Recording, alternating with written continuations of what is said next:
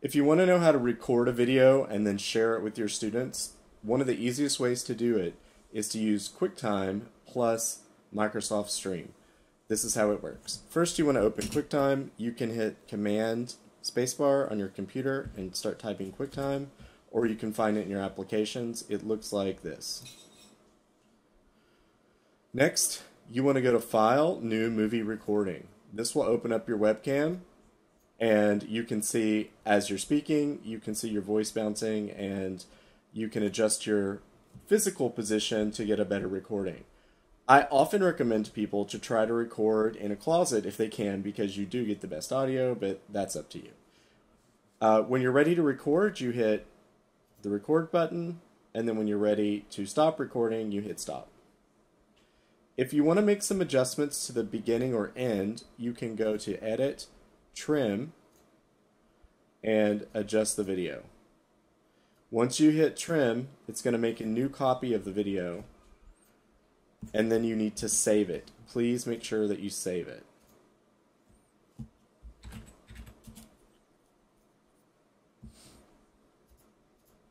The next thing you want to do is go to Microsoft Stream. Stream is located in your application launcher. It's called Stream and it should be on this page. If you don't see it, just click All Apps and you should be able to find it. Open up Stream. When you're in Stream, you want to click Create to upload a video, browse, choose the newest video that you just made, and let it upload. You can give it a name.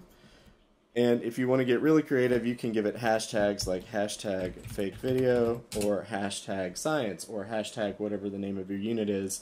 And you can actually search by these hashtags later. It really depends on how many videos you're going to make. You can leave all this alone. The permissions currently are open, so anyone at Episcopal High School can watch the videos. There are no private video options. Any teacher or student can watch a video. When the video is processed, you can then share it. You actually, at this point, can hit share and copy this so that you have the link. And you just need to wait for the processing to be done, and then you hit publish. Nothing is happening um, right now to stop the video. It is processing on the back end. I've published it, and I have the sharing link.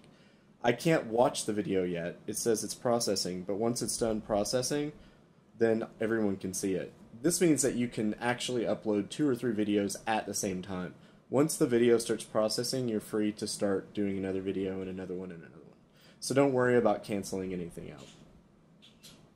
If you've been recording meetings and you go to My Content Meetings, you can see all the meetings you've recorded, and if you want to delete one, you can click here and delete the video.